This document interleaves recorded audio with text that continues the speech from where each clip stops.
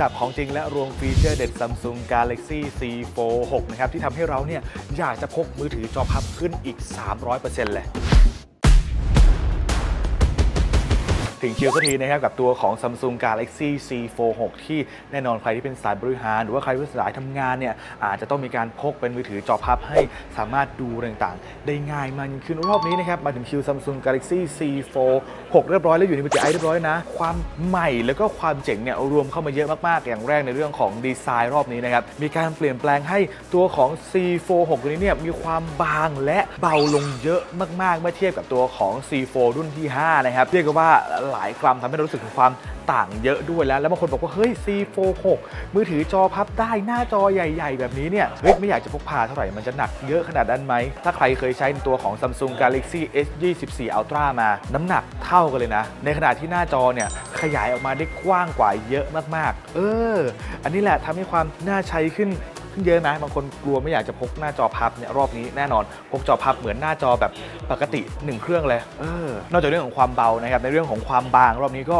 บางลงจากรุ่นเดิมนี้หลายมิลเลยนะ เออ เรียกว่าความอยากพกก็เพิ่มเข้าไปอีกนะครับ นี่เดี๋ยวให้ดูเดี๋ยวให้ดูนะครับว่าไอ้ C45 กับ C46 เนี่ย ความบางเนี่ย มันก็ต่างกันพอประมาณเลย ซึ่งบางคนบอกเฮ้ยพี่มันก็ต่างกันนิดๆหน่อยๆแต่ถ้าให้ให้เทียบความเห็นชัดเจนเลยนะ คือความบางของ C46 ตัวนี้นะครับ มันเทียบเท่ากับความบางของในฝั่งของแท็บเล็ตตัวแท็บในฝั่งของ Samsung เลย อ่า นี่ เป็นไง เรียกว่าหน้าจอเนี่ย เหมือนกับโคกแท็บเล็ตได้เลย ในขนาดความบางที่บางพอๆกัน ลองเทียบกับ power bank นะครับ ถ้ากลางมาเนี่ย ตัวเนี้ยบางกว่า power bank ที่แบบเขาเรียกว่าอุ้ยบางๆเบาๆพกง่ายๆ บางกว่า power bank อีก หรือหรือหรือสาวๆหลายๆคนนะครับตลับแป้ง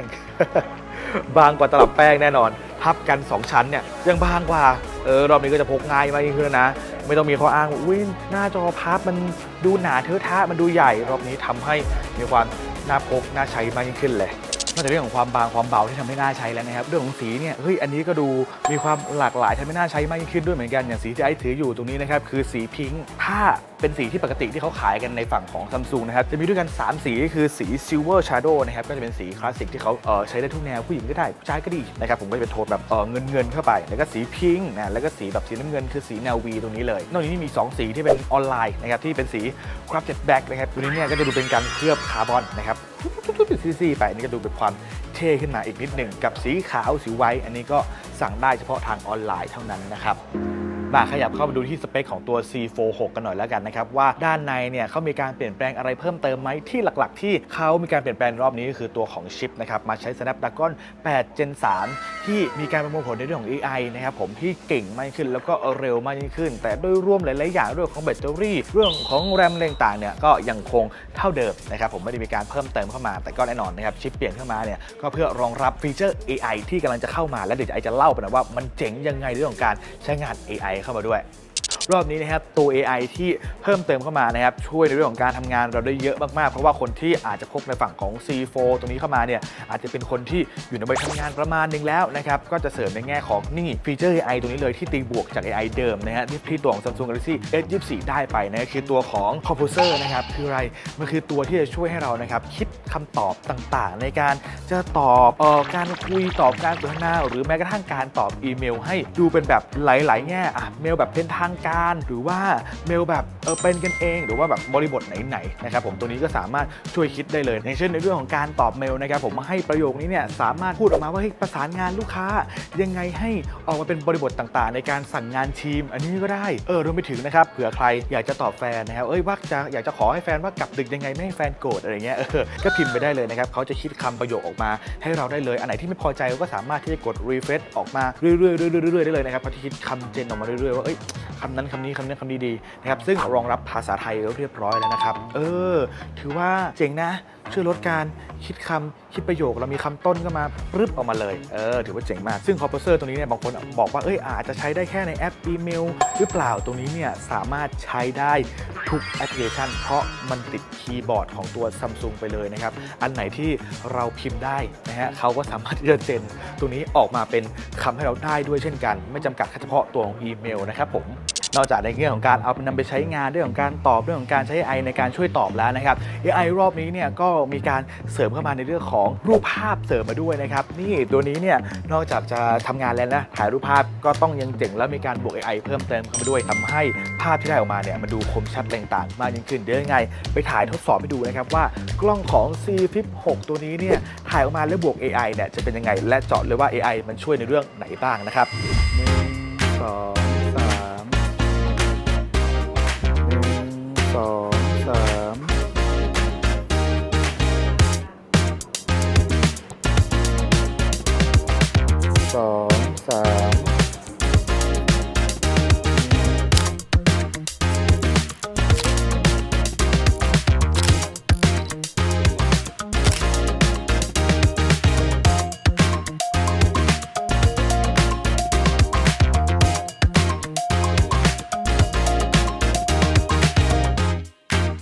บ้านะฮะนอกจากที่เราจะถ่ายไปแล้วเนี่ยเรื่องของไฟล์ภาพ เรื่องของอะไรหลาย ๆ อย่างที่มันมีการเปลี่ยนแปลงอย่างตัวของโหมด Portrait ก็จะมีการวัดเดฟต่าง ๆ ที่มันดู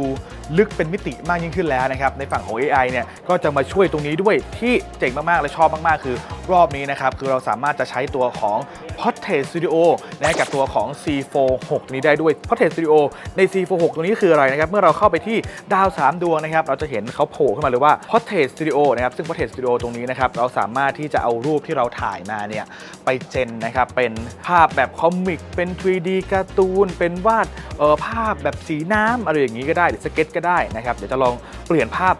น้องนางแบบคนนี้นะ กลายเป็นแบบว่าภาพสีน้ำให้ดูหน่อยแล้วกันนะด้วยการแปะไปเลยนะครับ water color แล้วก็ generate ไปเลย ซึ่งตรงนี้เนี่ยอาจจะต้องใช้ระยะเวลารอแป๊บหนึ่งแล้วกันประมาณสัก 30 วิไม่เกินนี้นะครับก็จะได้ภาพออกมาหลาย ๆ สไตล์เลยนะ เพราะเขาไม่ได้คิดแค่สไตล์เดียวนะครับเขาจะคิดเป็นแบบว่าหลายรูปให้เราสามารถเลือกได้เลยว่าเอ้ยชอบรูปแบบนี้แบบนี้ไหมนี่ ไหมเออนะฮะถึงจะเจนออกมาหลายสไตล์นะครับตีมมีอย่างหนึ่งที่คล้ายคลึงกันอยู่ก็คือความน่ารักของนางแบบเธอสวยทุกนาทีที่เคยสัมผัส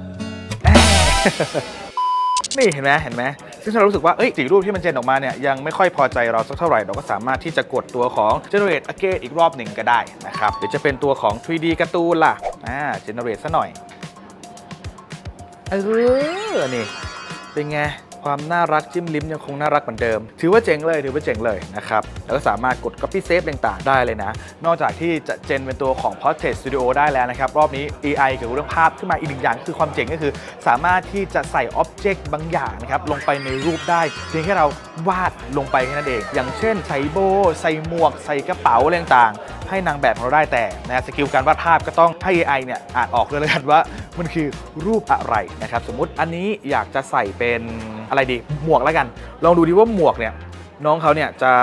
ออกมาเป็นยังไงบ้าง หมวกสีแดงโอ้โหเสื้อขาวหมวกแดงวาดเป็นหมวกนะอึบอึบอึบอึบอะหมวกแดงรายละเอียดประมาณนี้แค่เป็นเส้นหมวกเลยนะ ดูว่าน้องเขาจะเก่งขนาดไหน จะเจนออกมาเป็นหมวกให้เราได้ไหมตึบตึบตึบตึบตึบตึบตึบมันก็ยังพอเป็นหมวกได้อยู่นะ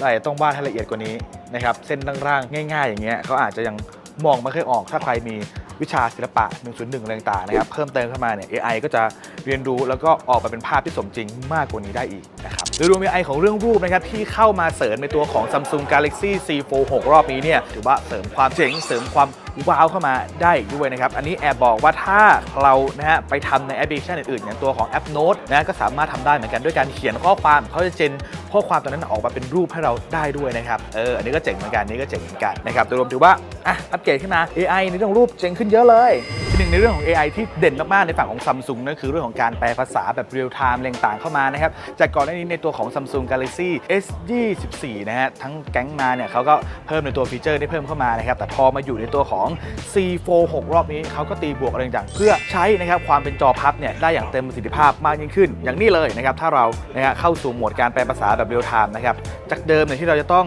ยื่นนะฮะยื่นยื่นหน้ายื่นหลังอย่างนี้นะแต่รอบนี้เราสามารถพับขึ้นมานะครับแบบนี้เลยนะครับแล้วก็สามารถกดแตะเพื่อให้หน้าตรงเนี้ยแบ่งออกไปที่หน้าจอด้านนอกได้ด้วยนะครับนี่อีกฝั่งตรงข้ามก็จะเห็นเป็นเป็นหน้าจอด้านนอกตรงนี้ได้เลย สามารถกดคุยกับเราตรงนี้ได้เลยนะครับอ่านี่เช้านี้คุณกินข้าวอะไรหรือยังครับ